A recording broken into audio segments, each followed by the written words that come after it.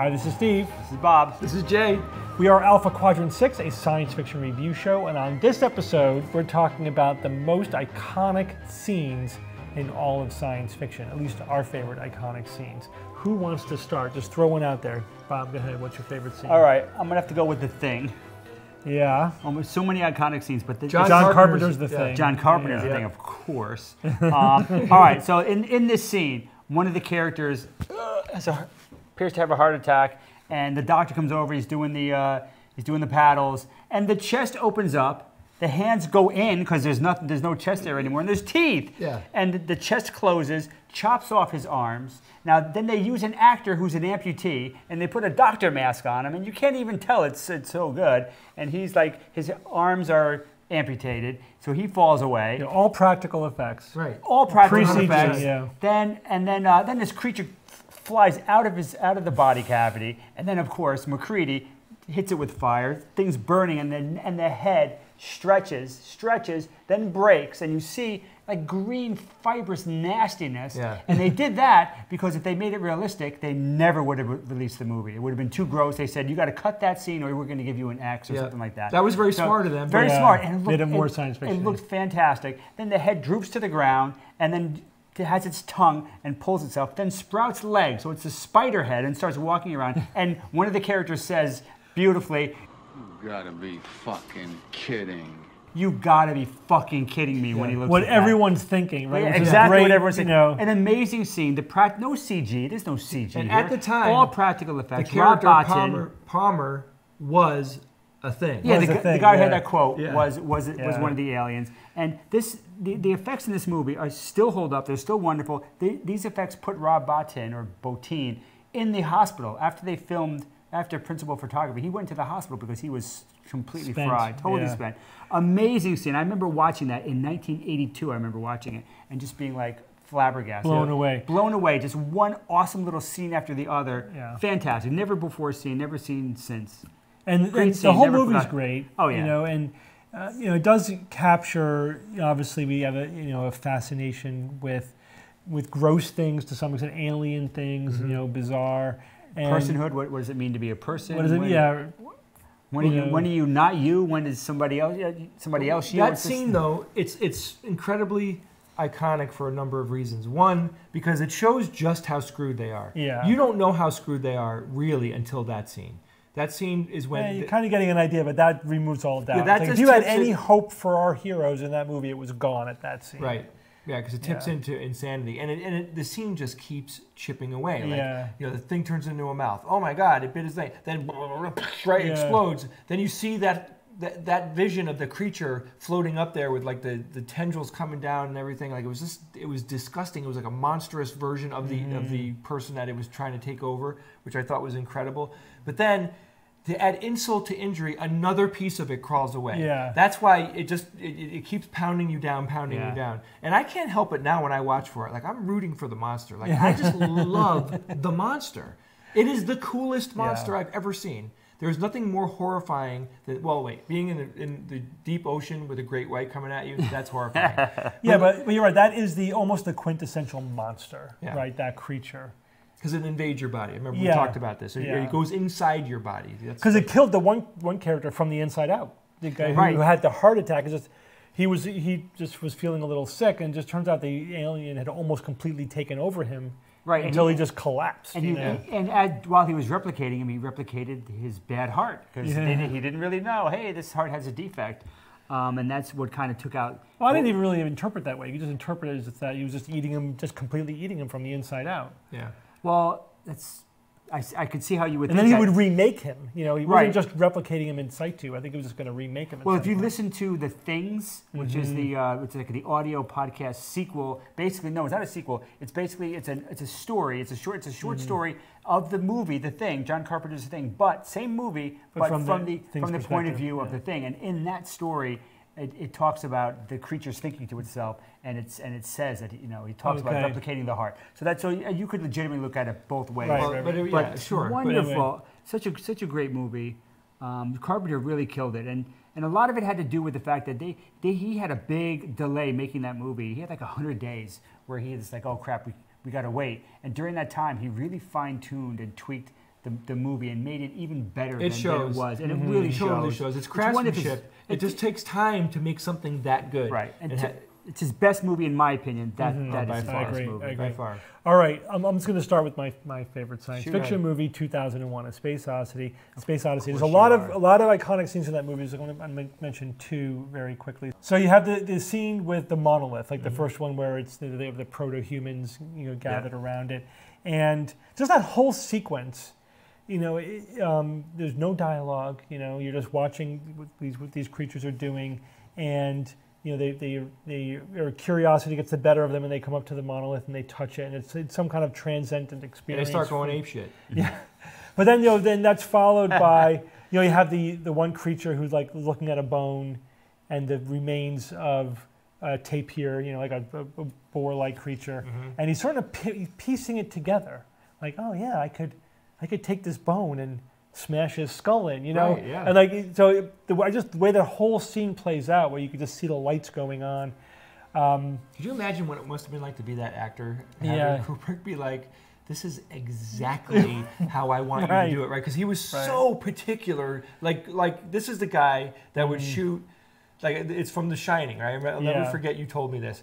So he had the actors get out of a car and walk into a building, and they did it like a hundred times. Yeah. Just no, to- it was worse than that. It was a scene of, of, of Scatman Crothers sitting in a chair in a plane doing nothing. oh, that was another example. And that seems like a hundred times for him to sit and do nothing, to get the right vibe. Whatever, Yeah. whatever. He did was- nothing right. until he did Yeah. it right.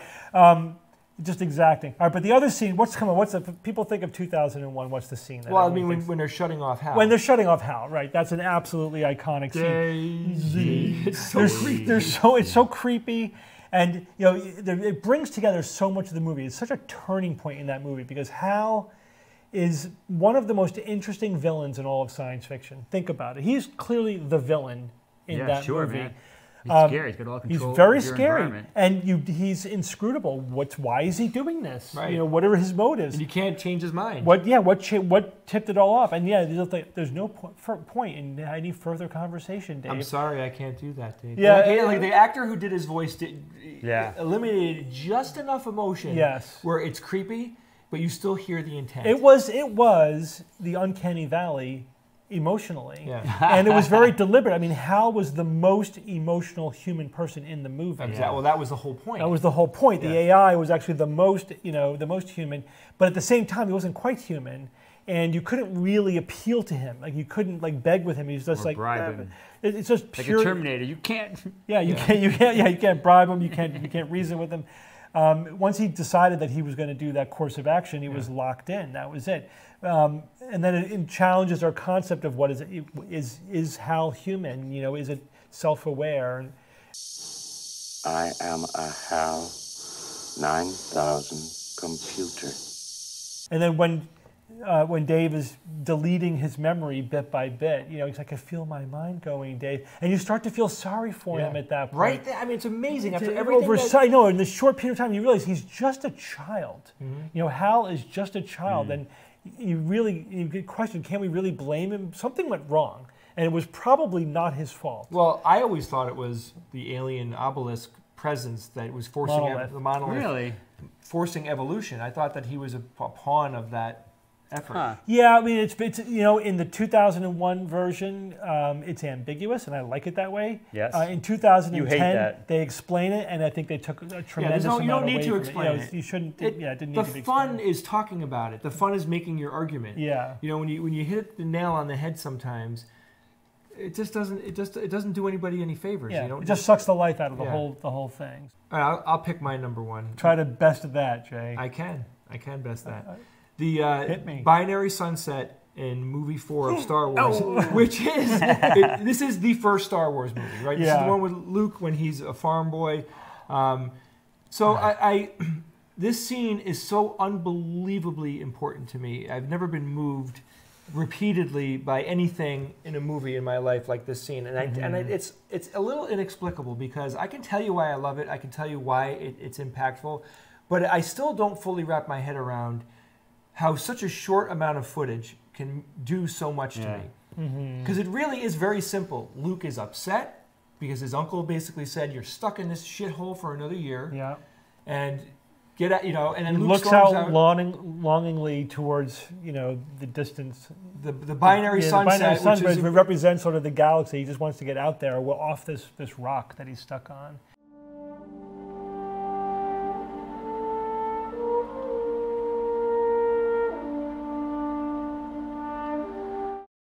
It is a combination of the setup that Mm-hmm. he, he has this discussion with his aunt and uncle, his forlorn, you know, for, Mm. forlorn, you know, he has an ennui, whatever you want to call it. Something is not deeply not right with his Mm-hmm. reality, and then the, the music. Yeah, the music. That- That is it.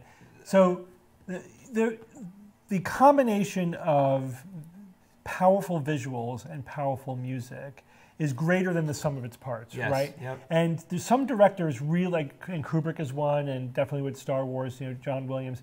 When the music and the mood of what you're watching, mm, you know, clicks, yeah, there's, there's a magic crisscross. there's a that happens, synergy yeah. that happens. It is totally magic, Yep. and I'm a complete sucker for that. I can, I mean, that completely gets right to my soul when that happens. But there is something really cool that happens to me when I watch that scene now. Now I Yeah. saw it in the theater. I don't. what Was I 12 years old? Yeah. You know, I mean, I was I you was were you were nine. nine years old when I saw that, sitting right next to you guys. Yeah.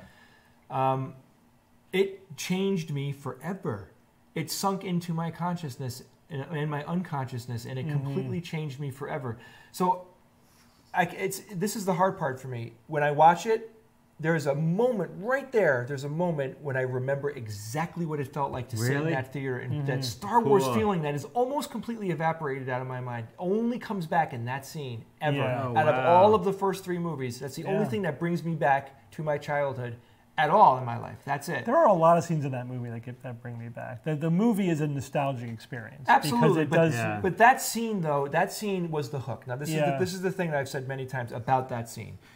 There, we were all the, that kid sitting in the audience, boy, girl, it doesn't matter. Every every young person that Mm-hmm. watched that movie, pretty much everybody that watched it. Why did Star Wars kill people? That was the scene where the first real hook gets into you, and you're like, oh man, you are so you are totally sold on that movie when that scene happens, and that is the turning point. And that to me is when you're writing a movie, you need a hook like Need those that. moments. You need that moment, one or, one or more of those moments to really make the audience care. And we loved Star Wars.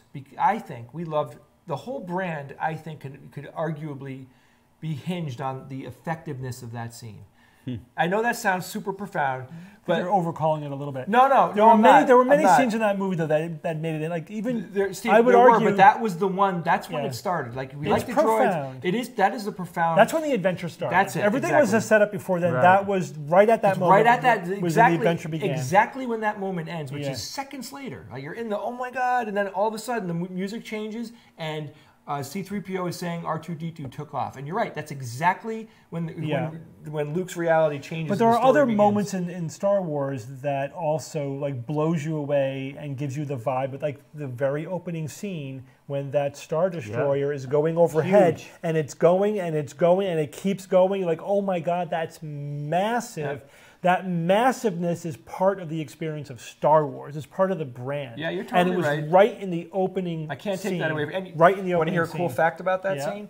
The ship that they built, that the first ship, Princess know. Leia's The ship. Rebel ship? Two things about it. One, that was going to be the, The Millennium, Falcon. Yes. And two, that model, because it was going to be the main cool ship in the movie, Super detailed. was way bigger than the Star Destroyer. Oh no way. Yes, like that thing was this big. I don't know how big it was in real life. It was probably even much. It was probably the size of this table. But let's say just for comparison, so people could see.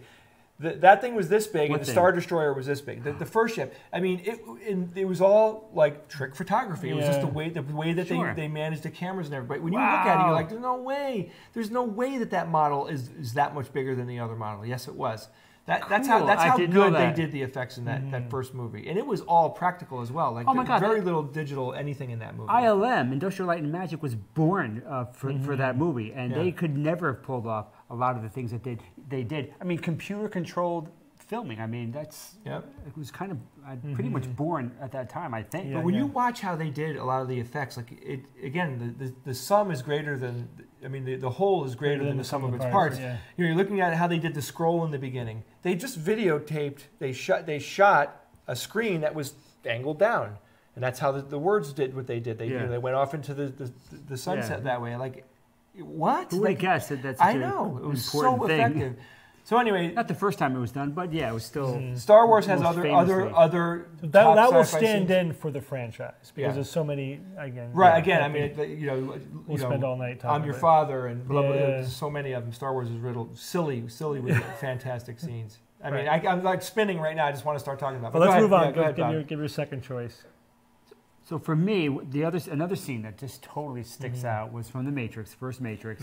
Uh, Neo wakes movie. up. Neo wakes up, and after Morpheus says things are about to get weird, he swallows that red pill, and he wakes up, and he's like, and he sees what reality really is, and he Talk wakes, about a turning point in a movie. Oh my Yeah. god! um, yeah, He's in. He's in the pod. I mean, imagine, Yeah. imagine, you know, imagine towers as as big as uh, you know the Empire State Building, filled with thou- thousands and millions of these pods housing people, and these pods are used by those those uh, the alien robots that come, not the aliens, but the robots that come and grab you and use you as a battery. Yeah. Um, and and your existence is really just like. Uh, you know, an illusion, and Yes. such a powerful scene. in the Matrix. But the, that, whole thing, though, like the whole thing that happens to him, it's it's really scary. I mean, it, you know, first off, it, I don't know if a scene like that has ever happened in a movie before The Matrix. Like how jarring it was. Like you literally switched realities, and it was a harsh transition. You know, you, you know, he's in Oh, the thing, yeah. he has to tear out of it, like you know, which was really you know, there's all well, this jelly. The Wizard of Oz. Then his, yeah, you're right. No, there's, I mean, There's other yeah, there's other examples, of it, but you're right. But that was did it uh, more impactful, I think, more, uh, more epically than any other movie. And you guys have to remember, this is one of the when you have kids. Um, this you brings your your kids are still a little young for this, but as you as they go back and watch all the classic movies, you realize you know like they don't get how epic and monumental a movie like The Matrix was because now that's the the, the Matrix is infused in Yeah. the culture. It's infused in later movies. Yeah. It's like no, you don't understand. That was the first movie to do that. The whole bullet time yeah. Yeah. and the freeze frame and you change your Yeah, yeah, angle yeah. and this the whole look of the movie, the whole Neo look with the coat and everything. So I mean, you're saying they're, they're exposed to the effect that it had on the culture, so they're already kind of familiar. Yeah, so with they yeah the- when they see it, it's nothing new to them. It's like they're or they're the product of that movie, and they don't even realize it. And I have to remind them, no, that movie Right. Was was Right. innovative. What do they say when you tell them that? Is it like It, uh, it's, it- they, they can't they, they can't imagine. It's it's like these kids, you know? You know, It's like Vader, you know, when Vader says, "I'm your father." It's like remember when your I know. kids I, saw I, that. am I'm watching Empire Strikes Back with my two daughters, and I'm waiting for that scene. And Luke, I, no, no, I am your father, and they're like, no reaction, whatever. I'm like, I had to stop. They were like, wait a minute. Wait a minute. How could you guys watch that scene and have no reaction? Like, I pretty much figured, you know. yeah.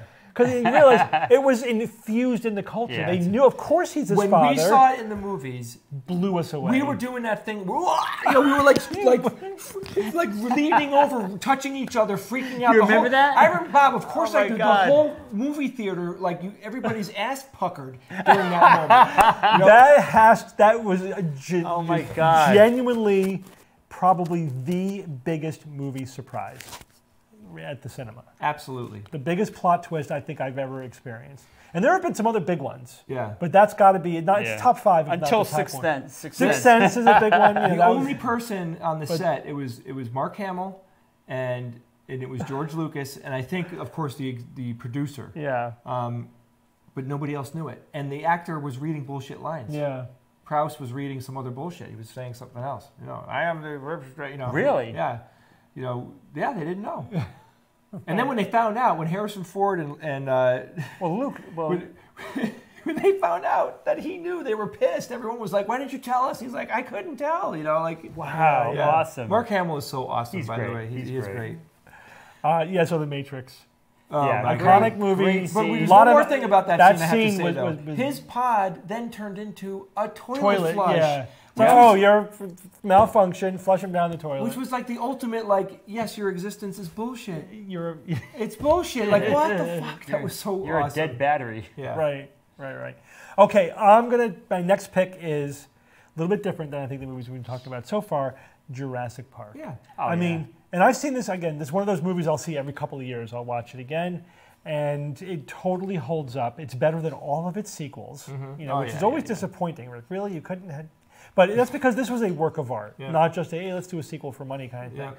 Yeah. Um, there's two scenes again. There's like so, riddled with great scenes, but the two scenes that I think represent sort of opposites that come together in that movie. There's the the scene when the scientists first see Yes. the Brachiosaurus. They first see the dinosaur. Oh, giant my God. brachiosaurus. I Yeah. remember that. That was Well, because you get to see the scene in his face first, Yes. in their faces. Yes. Their faces, the, the two. It's their reaction Yes. that sells that Which is a scene. Totally. beautiful way. totally. It doesn't matter what's revere. happening. Doesn't matter what they're looking at. They sold that scene, but it it represents the wonder of what that would be, and it represents the wonder in the audience watching that movie. Like mm-hmm. they're we're reacting Yep. like they're reacting. You know, so it Spielberg was totally knew what he was doing. totally when he wrote nailed those it. scenes. Yeah. Nailed it. Nailed it. So that was like just everything, all of the wonder and the hope and the fantasy that science could potentially bring wrapped up in that their reaction in that Mm-hmm. one in that one moment. The opposite end of the spectrum in that movie was the scene with the T-Rex chasing the Jeep, Yeah. which represents all of the horror that could also come from when things Oh, get out of control. Um, so that was like the two end sides of the coin for that Object movie. and mirror is closer than it appears. And yeah, just the right amount of humor at the Yeah. right moment. Yeah, that was My brilliant. God, how did, it was handled so perfectly well. That was terrifying. And that scene where the character's name was Ian, the mathematician guy. yeah, He's running, Chaos. running with the the uh, Yeah. the flare, and because he's smart enough to know, like I've got to distract this thing, Yeah. and, he, and he throws it, and that thing starts running towards the camera, and you get that like real legit like okay this this digitally created. Well, first off, there was a practical version of that Mm-hmm. of the dinosaur, but then you know there's a digital version of it where it's running and all that stuff. I mean, I'd never seen anything like that before. Like that that was a mind blowing experience. That scene. and again, like when when the T Rex is catching up to the to the Jeep, Dr. Sadler screams. Like there's just like this one two second scene where she's like screaming in reaction to it. Totally sells it. I mean, she was full of abject terror, as you would be Yeah. if Oh, a yeah. T With a Rex is chasing you down. Exactly. And But if a it T sold Rex is chasing scene. you down, you feel its footsteps. Yes. And they they got that across Yeah, in the they movie. did. So that's why that movie was wonderful because it could make you feel wonder and then absolute terror Yes. at the same thing. And it works every time. And every it time works every time you watch Yeah. that movie. You're like, whoa, it's blown away by that scene. So I, I what do you got, Jay? another monster movie, uh, the movie Alien. Of course, the chest burster scene. And, Mm-hmm. Yeah. you know, there's two Oh. two chest burster scenes, right, Bob? Yours and mine. This this is the the chest burster scene Yeah. now. Yeah. So you know, the, Iconic. the real quick summary is they're they're the uh, the guy who had the, the face hugger on him. He's up. They're you're eating. You know, we get this moment of like levity. They're laughing, and everything seems to be back to normal. Everything's fine. Then he starts kind of coughing and choking, and then they roll him over, and they don't know what to do. They don't know what's going on. Now, meanwhile, that son of a bitch Ash. The whole time, which is so awesome, when you watch the movie Alien, and you mm-hmm. watch it, what Ash is doing the whole time, Yep.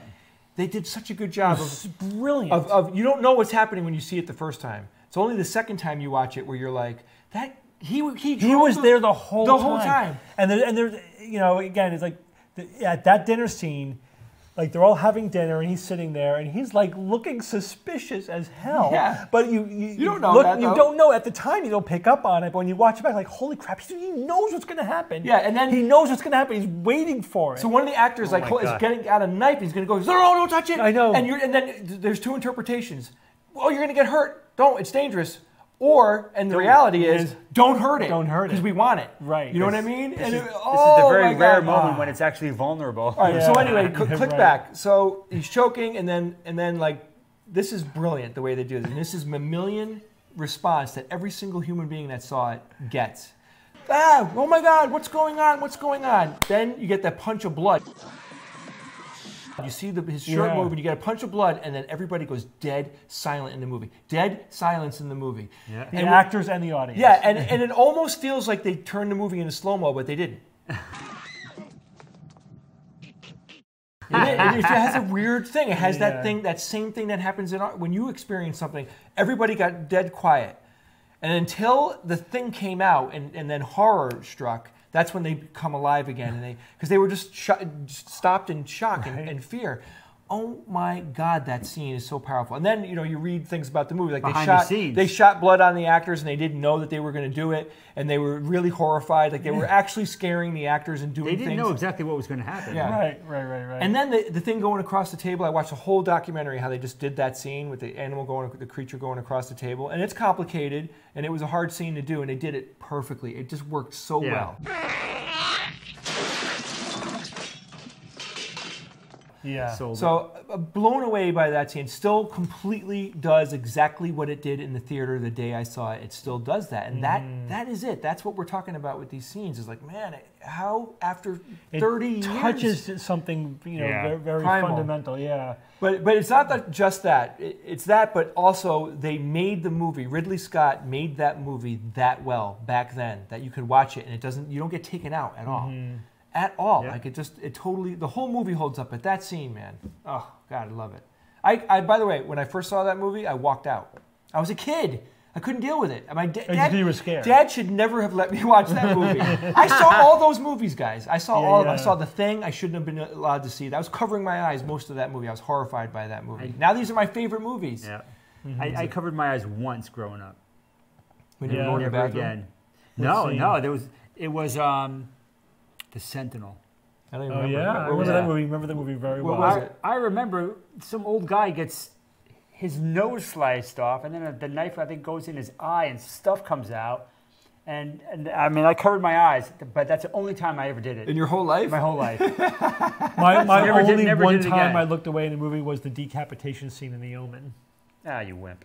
Yeah, that was. that was scary. We, were- you know, we were kids. That was Of course, scary. yeah, that was. That movie was really scary. and I regretted it. I'm like, I'm never going to do that again. that movie. That movie gave me, I think, like legit heebie-jeebies. Yeah, Yeah. that's Like- a creepy movie. yeah, that movie's it's a very creepy. creepy movie. I remember going to a movie with you, Jay. You looked at your sneakers for the entire movie. I think that was Jaws. Another movie that You almost looked at his sneakers for the entire movie. That movie scared me. scarred you for life. It's oh, wait. Now, first off, this is a phenomenon. Jaws, like, and, and, and by the way, this is in my list as well. Yeah. But Jaws scarred everybody who saw it. no, literally, everybody who saw Jaws walked away with PTSD on some level. That movie was that good. The scariness of that shark was that good. I mean, you could Bruce! ta- you could go to any anybody who, who that's in our age range and say, "Hey, did Jaws screw you up when you were a kid?" And yes. You're going to hear the word It yes. scared the out. world. I believe that you. It, didn't, yeah. you know, it didn't mess me So- up too So what's bad. the best? What's your favorite scene in that movie? Uh, so, oh my God, the whole movie is perfect. yeah, it's and- one of those just m- masterfully crafted and, movies. And it was a mistake. And I love Spielberg, and Spielberg entertained me my entire life, but that movie was a mistake. Like do you they, mean? they because the shark broke. And Well, okay. So They they, had a, it. they, They were made it work. rewriting the script every night for the next day, going up the shark. We can all have the shark. They were going to show the shark like five times more than they did. it's actually scary or not showing. Of course, Yeah. that's and that was a lesson. Like that was a massive lesson for, for Mm. movie makers. Was like seeing how little they showed the shark and how much the shark was. And you know there. how you know we learned that lesson in Jurassic Park, that opening scene when the uh, the Velociraptor kills the, the, one of the guys, the Yeah. guards. You don't, you never see it. Yeah. And that was that was a massively scary scene. Yeah. Just like Yeah. You know when the cage moves, you know, like oh Yeah. that was great. You never see the monster, maybe like a little glimpse of an eye or something, and uh, very very scary. I mean, how Back can I? Jaws. That was the first like real summer blockbuster. Yeah, that really set really the tone was. for the summer blockbusters. That's in '75 that came out. There's so many scenes. Uh, I'm going to tell you a few, which everyone you know you should be very familiar with them. But then I'll then I'll talk about my favorite one. Of course, um, the scene when the kid is in the raft and you know Mm-hmm. that that chaos and that sense of panic and running out of the water and the camera underneath the water and the perspective. I mean, the the bloody- perspective of the monster. Mm-hmm. Yeah. We're, we're seeing we're, we are the shark in that movie We're and the it's, predator. it's horrifying. Yeah.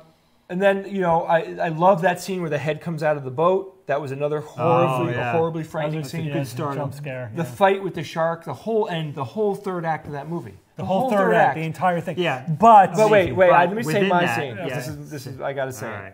When Quint is telling the story Yes. of the it. Indianapolis, that's Yes. the most powerful scene in the movie. by far, and a couple of cool points, uh, side points on that. The first time they filmed it, he was so drunk that they couldn't do it. Did they have that footage? I'd love to see I'm that. sure Oh somebody does, but they, they had to Pretty redo sure. it. They were That's and it- they were- yeah, because that actor was, I guess, having al- alcohol problems at the time. Um, but then he, they they do that scene, and there's the, there's the, this is the thing that there was a, in Full Metal Jacket. You were explaining to me Mm-hmm. how there's moments in the movie where it's designed so you have a, a moment of comfort, Yeah. and they're walking through the hole, and it's supposed to be like walking into the womb, and Yeah, like the yeah. guys are talking, and they have like that moment where you know the, you just know in, intuitively that no one's going to get killed, Yeah, right? yeah. So this is one of those moments. Yeah. They- They're, they're, they're, The they're laughing, the they're storm. drinking, they're joking, they're showing scars and, and all that. And then he tells Then the story. bonk. You know, you know, shark's eyes are dead eyes, like a doll's, Doll's eyes. And he, goes, and he talks about the screaming, and, and, and, it, and then you get like, you get quiet. You, you, you fall into the story, Oh my god. and then the shark comes, right at mm-hmm. the end of the story. Right.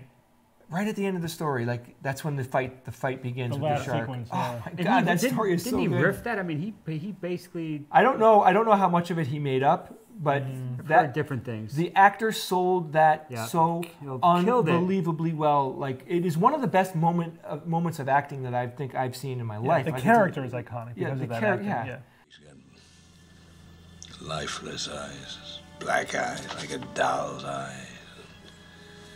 When he comes at you, doesn't seem to be living. You know when he does the thing on his, he scratches his fingernails on Yeah. the chalk. He drew a funny picture of a person, and he eats the crackers, and like all these little things that that, that character had.